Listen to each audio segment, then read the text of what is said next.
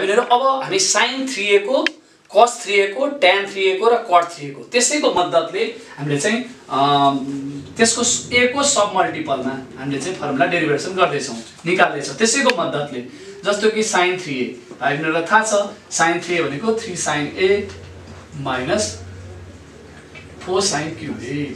त्यसै गरी कस थ्री ए भनेको ठाउँमा यो भन्ने ठाउँमा पनि कति छ फोर कस क्युब ए माइनस थ्री कस ए यसैको मद्दतले हामीले चाहिँ भनौँ न हामीले साइन एको यसैको सब मल्टिपल भनेको साइन एको र यसैको सब मल्टिपल भनेको कस एको चाहिँ हामीले के गर्दैछौँ? फर्मुला यहाँ यसैको मद्दतले निकाल्दैछौँ।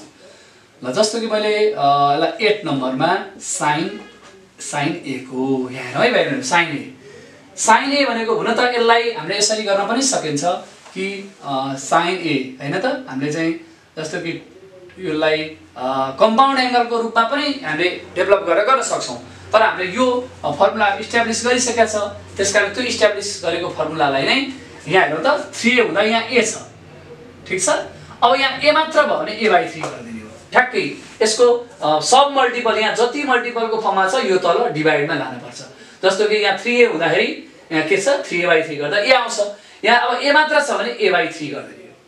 त्यस कारणले यो साइन ए छ भने यहाँ कति हुने भयो three sine three sine A by A by three minus four sine cube A by three होइन थ्रीले ठ्याक्क डिभाइड गरिदिउँ यसको सब मल्टिपल एङ्गल बढिहाल्छ। त्यसै गरी कसमा हेर्नु त भाइहरू कस कस ए भनेको त्यसै गरी यो भनेको यहाँ हेर्नु त कस थ्री भनेको फोर कस क्युब ए माइनस थ्री कस ए छ। भने ए मात्र भने यहाँ ए बाई थ्री गरौँ त के हुने भयो four cos cube A by three minus three cos A by three भाइ बहिनीहरू यसै गरी हामी चाहिँ ट्यान एको पनि होइन? हामी टेनमा ट्यान एको ट्यान एको ट्यान थ्री ए हुँदा सब मल्टिपल चाहिँ ए हुन्छ। त्यस कारणले ट्यान थ्री एको फर्मुलालाई नै युज गरेर हामीले ट्यान एको सब मल्टिपल एङ्गलको फर्मुला लेख्छौँ।